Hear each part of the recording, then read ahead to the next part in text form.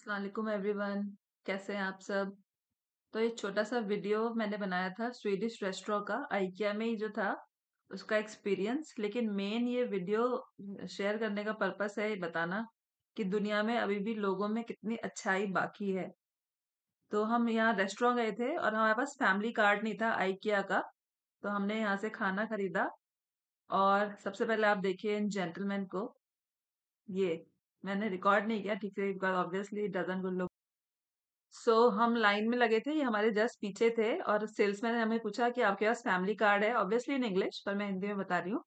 तो हमने कहा कि नहीं हमें हमारे पास कार्ड नहीं है और हमें कोई आइडिया भी नहीं था कि कार्ड कैसे बनता है क्योंकि हम फ़र्स्ट टाइम गए थे।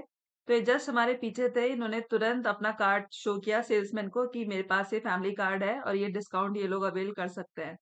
सो so, बिना जान पहचान के इन्होंने हमें अपने कार्ड से फ़ूड में डिस्काउंट दिलाया।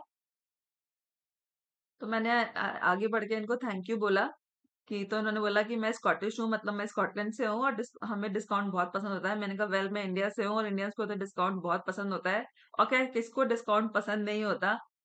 तो ये सब देखकर लगता है कि इन छोटी छोटी बातों से लोगों की अच्छाइयों से ही दुनिया अभी तक कायम है। तो ऐसे ही जाने अनजाने लोगों की मदद करते रहिए। ऊपर वाला आपकी मदद करेगा। अल्लाह हाफिज।